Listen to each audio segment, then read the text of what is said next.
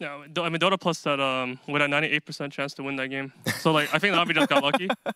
Like um Yeah. it's too bad. Like they, they had a two percent chance and they, they took that two percent. They got they won a lottery. Yeah.